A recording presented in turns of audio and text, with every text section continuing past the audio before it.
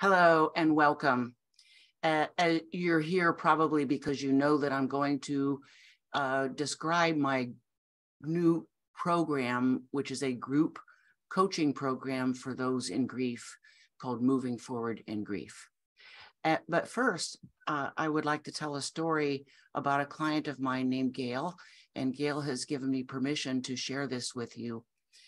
Gail had been married for more than 50 years to her husband, Phil, when he had a sudden death. Not only had they been partners in marriage, but they were partners in art.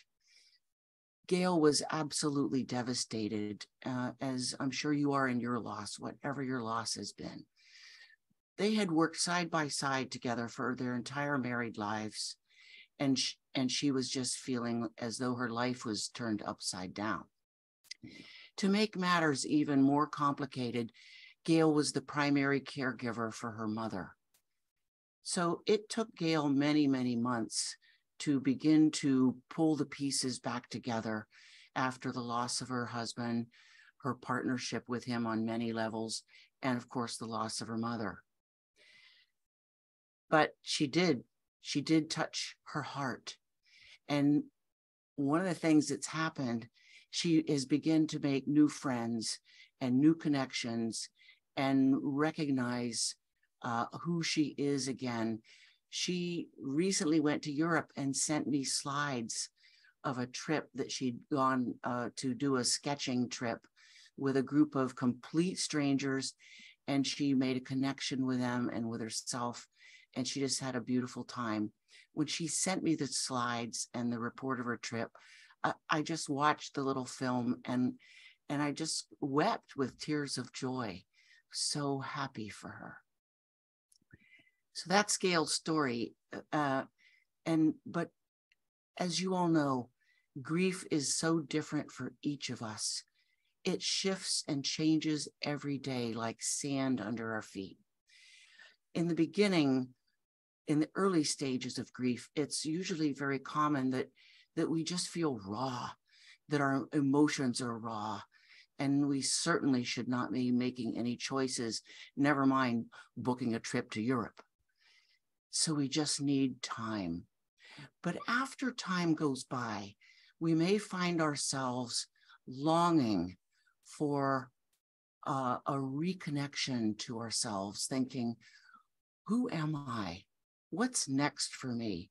And of course, that does not mean letting go of grief. But as we begin to explore uh, later on in our stage of grief, this, this idea that we want to move forward, we might feel a, a lack of confidence. Uh, we don't know really which way to turn. Sometimes we even feel guilty if we were to move forward. We need a sounding board and we need a way to dip our toe in where we feel safe and having and have others listen to us and support us in our choices or maybe even redirect and say hey maybe it's down the road that way. And that's what this program is all about. It begins on march 15th uh, we will be meeting virtually. It's going to be a very small group. It is filling already uh, but we will not have any more than eight people and each week we will all have a chance to share.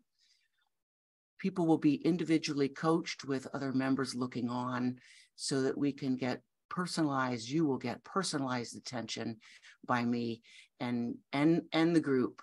And then we hold each other accountable in a very gentle way uh, to uh, to do the maybe tiny action step that you said you would do, and did you do it next week? Well, you know, maybe you didn't but uh, you you feel in a group like this of like-minded others full support to support you exactly where you're at in your journey. And sometimes being in a group of like-minded others can be the secret ingredient to um, feeling safe and taking steps toward uh, you know who am i? What do i want next in my life so if this resonates with you at all, uh, please, I am inviting you to a phone call so that we can talk about it and make sure that um, that it's the right move for you because it's not right for everybody. Uh, you know, grief is not all of who we are.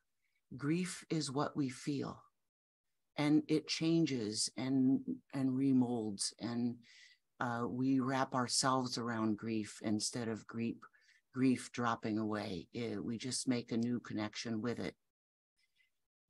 Of course, Gail, you know, uh, decided at some point to touch her own heart with kindness, to dip her toe into her essence, like, who am I without, uh, in my new life? What could it be like? And we all have that opportunity. We can all touch our hearts with kindness. And I think that's a lot of what is so important for us to understand that grief is about love, but we shouldn't leave ourselves behind. So I look forward uh, to having you in the group if it feels right for you. And I thank you for watching.